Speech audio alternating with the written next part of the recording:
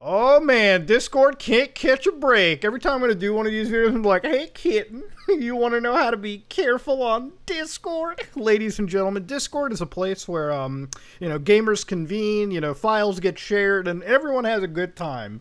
And it just can't catch a break. Discord malware is a persistent and growing threat, warns Sophos. oh, Oh man, oh man, you can't you can't just throw one of those up there. Oh, come on now, that's too much. Now listen, Discord is popular, okay? And because something gets popular, it develops the it starts to gain the attention of like terrible like hacker individuals out there wanting to steal every little bit of your data. Now that being said, this isn't Discord's fault. This really isn't anybody's fault, okay? Simply it's going to happen. If it wasn't Discord, it would have been something else, okay? Now ladies and gentlemen, this video is intended to sort of protect you and sort of let you understand the dangers you get into if you don't keep your internet like, you know, condom enabled, okay? So ladies and gentlemen, Discord reading this one right over here, Sophos mentions that malware detections over the past couple of months have grown by almost 140 times what it was for the same period last year. So it's it's a growing, ladies and gents. Once files are uploaded to Discord, they can persist indefinitely unless reported or deleted. Which, okay, yeah, that's probably any like file sharing service out there. Now, of course, they noticed that the types of malware that litter the cloud storage, which, by the way, if you don't know, Discord uses a content delivery network like basically any larger tool. In layman's terms, when you're sending files to your friends in Japan, you upload to the Discord CDN, it then routes the file over to your Japanese friends. That's kind of how it works, okay? It allows you to share files back and forth. Now, on this cloud storage, Sophos found a bunch of game cheating tools, okay? Now, we saw this last time. Basically, people are sharing around hacks for games like Warzone, Apex Legends, and listen, if you're a computer computer ha- if you're a video game hacker, God, do I despise you. But at the end of the day, uh, I, I, still don't think you deserve to have your computer goat seat, okay? So I'm gonna I'm gonna show you how this kind of stuff kind of works. Now this is a Discord graph, okay? So if this is a Discord CDN, these are all the various executable files that are that are on the Discord CDN with, with, with shady malware. So for instance, Modern Warfare Bot Lobby, rar, and then you've got Snowfit.exe. I don't know what that is, man. That could be that could be the wildest. Xdane Yonitim Systemi. So some standard file and some other thing. A here's a little bit of a Mac malware. Too. I think that's a D. Oh, it's an image file, a DocuSign file, a Mac image file. They're going after Mac users too. Poor little Mac gamers. What have they done wrong? Come on now. Now, that all said, though, let's go look at some case examples. Now, in the magical world of Discord rats, uh, GitHub is an amazing place to go down to because people are just sort of storing these for free available. So this is one where it's like, this program uses the Discord net library to rat, remote access Trojan, your victim's computer. You can control it in a Discord server and is undetected by 95% of antiviruses. So if you click on their VirusTotal, um, I don't know, that looks a little bit larger than 95%. You're kind of fucking with me, dog.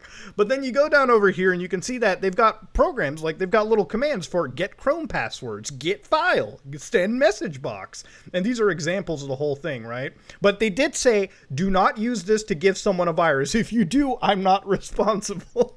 I love the disclaimers, they're the best part. This code is really bad, and probably half of it copied from Stack. At least they're honest, man. At least they're all honest. I got gotta bless them. Now this is Discord Rat V2. This was actually uploaded like six days ago, oh, four months ago or something. Jesus. Now here they said for educational use only. The author will not be held responsible for any misuse of the tool. Now these are just Python scripts that you can get going and running, and if you look at some of them, they basically have abilities to, you know, change the wallpaper, uh, retrieve the clipboard content. So basically every time you copy paste, you put this thing into you put that data into a clipboard and you can get it. Then they have some creepy shit like geolocate, which is locate using latitude and longitude of the IP address, right? So getting your general location. Then they've got volume max, and then they've got a keyloggers, and then the dumping of the keylog. So again, keylogging or actual keyboard in this case. Now again, to run these, you have to basically create a Discord bot. And I guess the best example for it is if you go to Discord right here, which uh, basically you can just set it and get it going. And as long as you can, you know, give it administrator privileges, you can then run these Python scripts. It'll create a new server with this infected bot onto it. Now, I haven't really been getting this going because these Python scripts are actually kind of really old and I really couldn't get them working.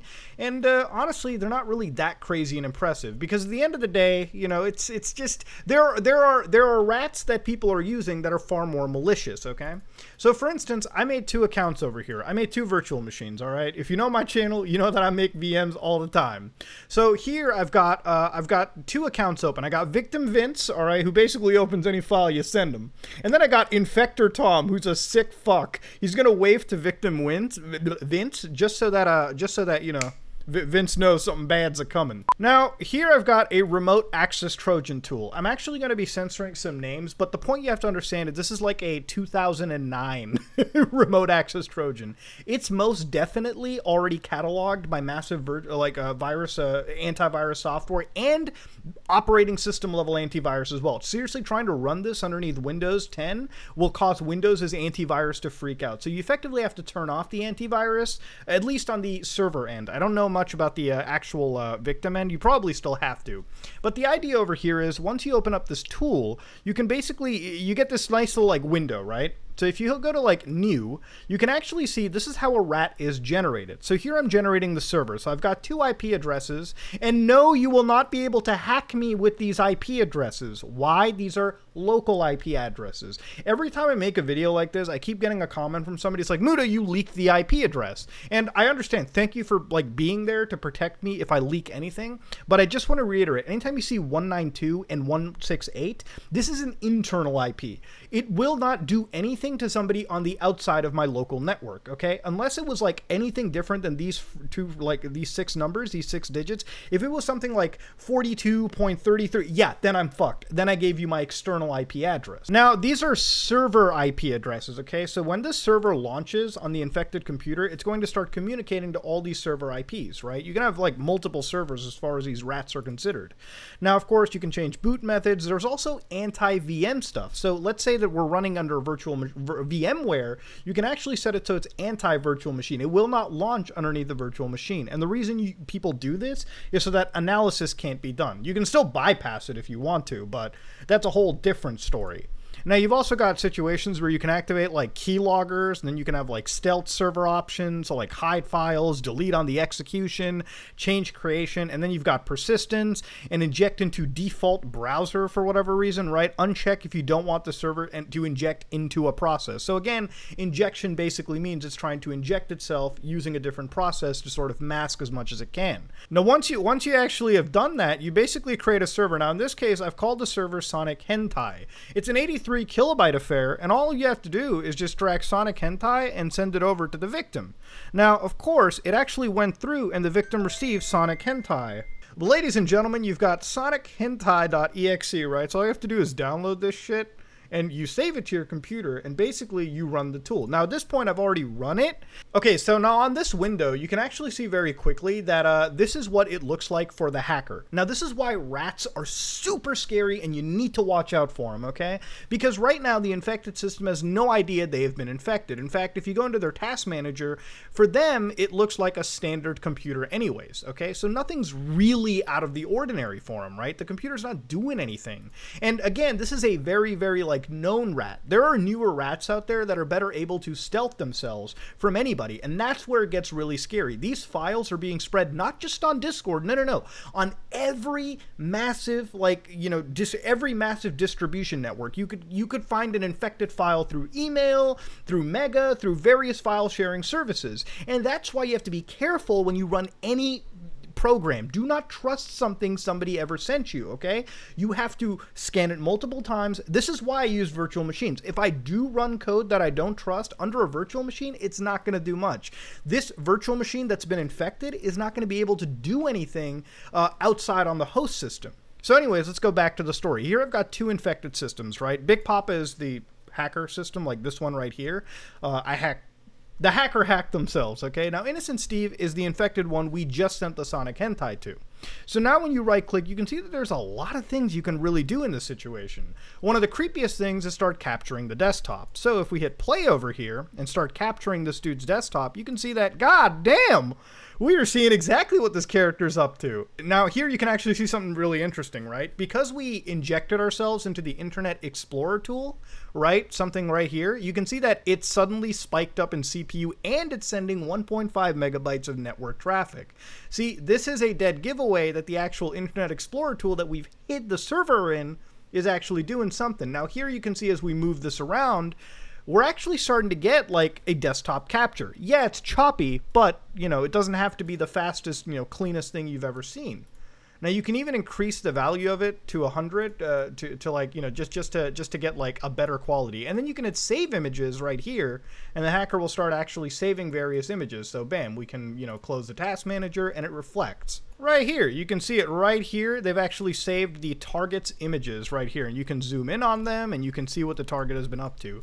They're not the highest resolution in the world, but I guess it's enough for anybody. If you get hacked while you're browsing sensitive things like sensitive files, sensitive photos, maybe bank details, that just got grabbed by the person who ratted you, okay? Now, again, there's further things you can do. You can capture microphone. So let's right click, and here we can set sample rates, hit play, and it should be capturing on the actual. Yeah, you hear that? Okay, stop it. Stop it. See, it captured using the actual uh, Logitech webcam that I passed through. You can even capture the webcam if you wanted to. It doesn't really work in this system, but it's possible in newer rats, of course.